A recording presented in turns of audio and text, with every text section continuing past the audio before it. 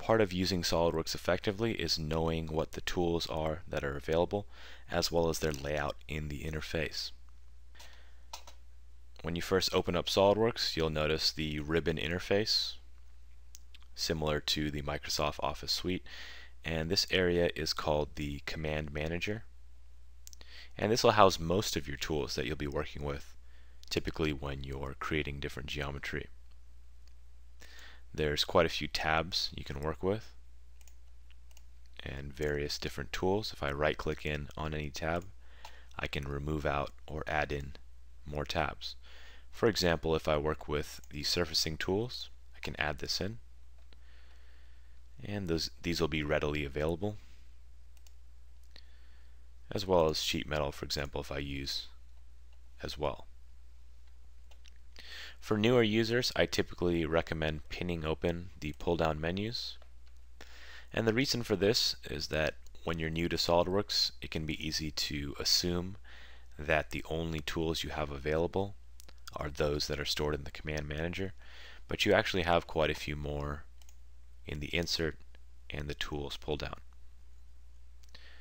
For example, if I come into features, I have split, combine, move, copy, and delete body, which are not by default on the features tab in the command manager.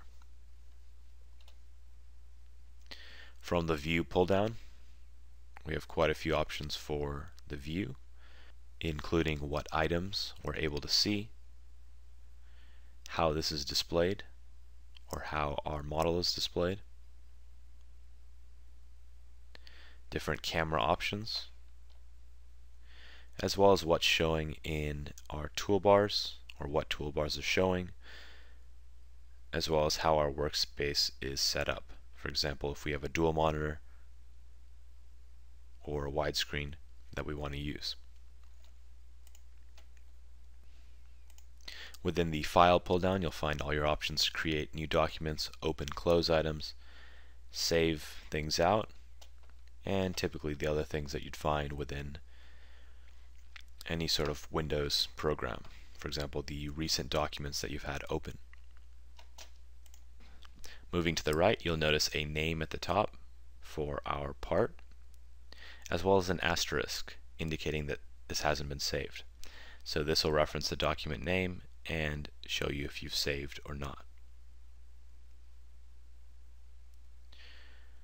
By default, there's several tools we can use, the undo, print, save, open, and new document, as well as the rebuild command, which will rebuild the entire part. You can also add in items, which I'll cover in a later video. And in terms of the tools and commands you have available, if you don't want to go into the pull downs, you can always search this out with the commands option, for example the scale tool. And if you're using an earlier version of SOLIDWORKS, this commands search is a new option to SOLIDWORKS 2012, so it won't be available in any earlier releases. From here we can also search the help for how to use certain commands or different items within SOLIDWORKS. We can also search the knowledge base as well as the community forum and if you have certain folders indexed for search you can search out for your files and models. Coming back over to the left there is an area to add toolbars and if you use certain options for example I was using blocks this toolbar automatically adds itself in for convenience.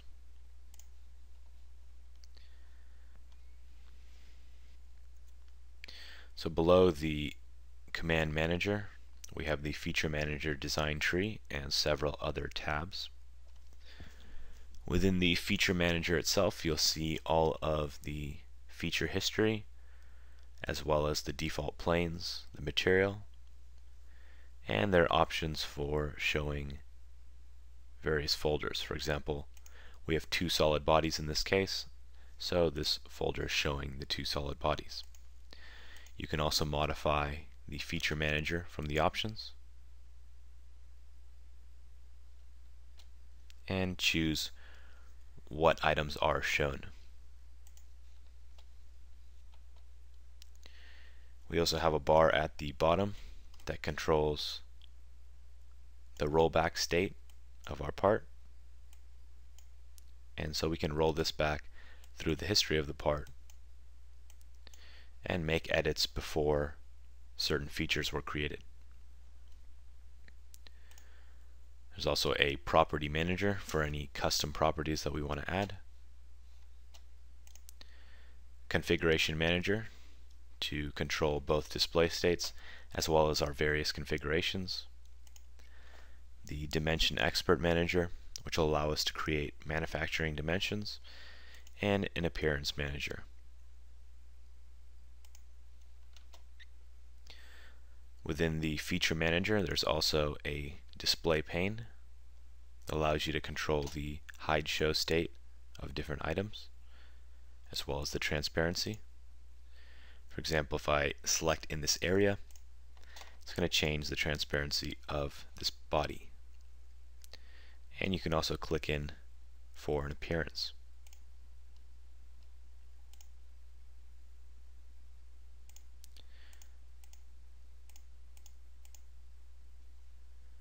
Lastly, in the feature manager, we have a search option. So if we want to search out what planes we have or any sort of feature, we can do that as well. Next to the right in the middle of the screen is the heads-up display. The first option, if you ever find yourself losing your model off the screen, you can always hit the zoom to fit or just press F and that'll bring this back.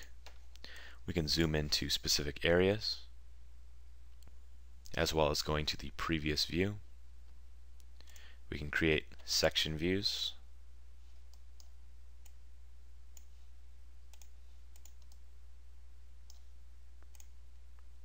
and then we can also control our view orientation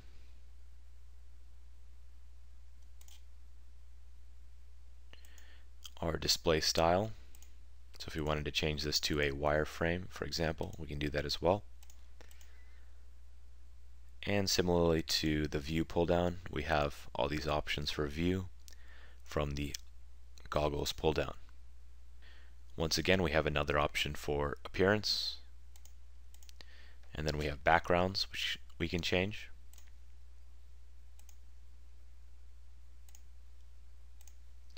And these provide both a different background as well as a different lighting scheme.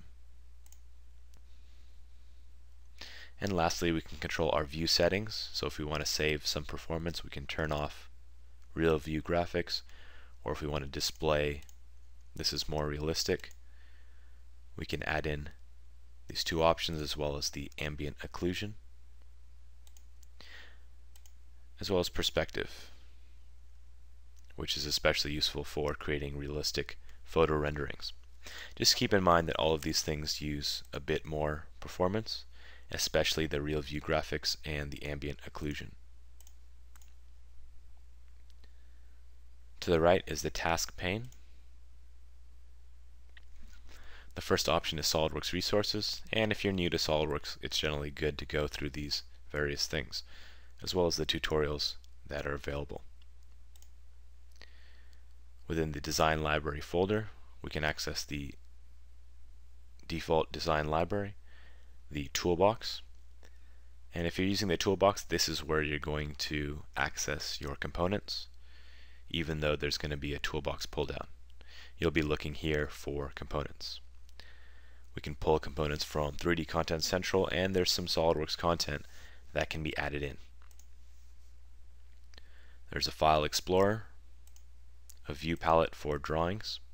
Once again, another appearance tab, and another area to control custom properties. Lastly, at the bottom, we have several tabs. One for the model, and if we want to create motion studies, we can right click in, create a new motion study, or use this, as well as create a new design study and this is also where your simulations are going to go as well. In the right corner we can see the status of the part Right now it says we're editing the part. If we come in and edit a sketch, it'll show the editing sketch as well as the definition state of that sketch. Overall, that is the layout of the interface and where you're generally going to look to find all the tools that you'll be using.